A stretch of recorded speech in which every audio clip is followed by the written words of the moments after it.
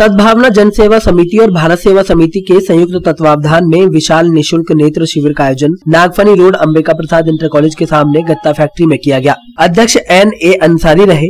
समाज सेवी मोहम्मद ताहिर ने संचालन करते हुए कहा कि शिविर में गरीब रोगियों की आँखों की जाँच कराकर आवश्यक दवाइयाँ मुफ़्त दी जाएँगी और मोतियाबिंद वाले मरीजों के निशुल्क ऑपरेशन पंडित दीनदयाल उपाध्याय चिकित्सालय सिविल लाइन्स में कराए जाएँगे।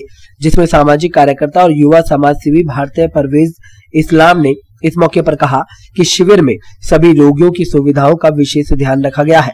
शिविर में उपस्थित रोगियों को किसी भी प्रकार की परेशानी का सामना न करना पड़े, इसका भी विशेष ध्यान रखा गया है। इस मौके पर राजा बाबू, जिलाध्यक्ष सिंगर जहूर मलिक, मोहम्मद आदिल खान, अनवर अंसारी, जिला संगठन मंत्री जकी मलिक, सलमान मंसूरी, आलम खान, नियाजी, हुकुम सिंह, भगवान पास दिवाकर, दिलीप दिवाकर राम किशन वशिष्ठ, शाहनवाज मलिक, मजहर खां एडवोकेट, हाजी अनवार, डॉक्टर नजाकत हुसैन, प्रिया रस्तोगी, वसीम अहमद, अकबर अली, हारून साबरी के साथ और भी पदाधिकारी और कार्यकर्ता मौजूद रहे।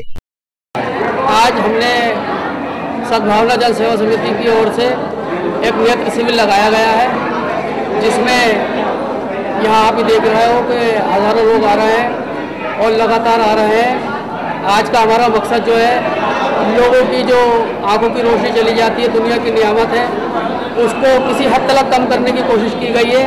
इसमें हम आज हम लोग दवाइयाँ वगैरह भी दे रहे हैं। और जिन लोगों को डॉक्टर साहब निकालेंगे मोतियाबिंद के ऑपरेशन होंगे, उन लोगों का पंडित दीनदयाल उपाध्याय हॉस्पिटल, यानी कि सिविल लाइन अस्पताल में उनको ऑपरेशन कराए जाएँगे।